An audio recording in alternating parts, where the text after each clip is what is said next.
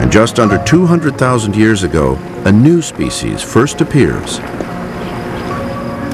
It is Homo sapiens, modern man.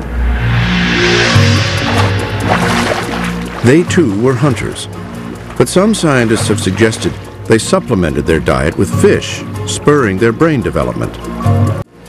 And driven by population pressure and climate change, they too migrated.